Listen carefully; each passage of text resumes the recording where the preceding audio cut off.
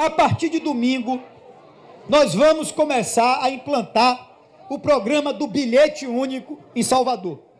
Ele vai ser implantado em três etapas. A primeira etapa vale a partir de domingo. Então a cidade tem quatro áreas: toda a área do subúrbio, a área do centro, a área da orla e a área do miolo da cidade.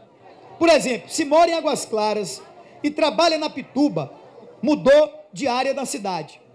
Se mora em Águas Claras e trabalha lá no comércio, mudou de área na cidade. Quem sair de uma área para outra da cidade vai pegar o segundo ônibus em até duas horas sem pagar absolutamente mais nada. Só vai, só vai pagar uma passagem.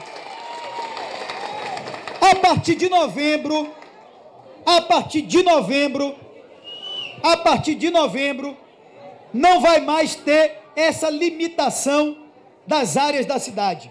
Ou seja, a partir de novembro, para pegar o segundo ônibus em até duas horas, mesmo na sua região, não vai pagar a segunda passagem, basta pagar a primeira.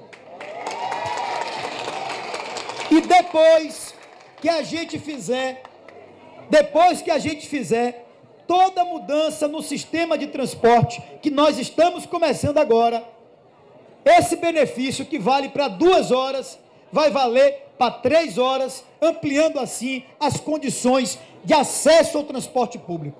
Eu quero diminuir o tempo que as pessoas levam no ônibus, eu quero diminuir essa loucura que é andar de ônibus em Salvador, e eu quero dar mais qualidade para a nossa população do transporte.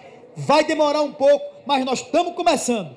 E domingo, que já é meia passagem, agora a segunda perna, não só domingo, porque vai valer domingo, segunda, terça, todo dia. A segunda perna vai ser de graça, as pessoas não vão precisar pagar. É o chamado bilhete único que a gente implanta para a população de Salvador.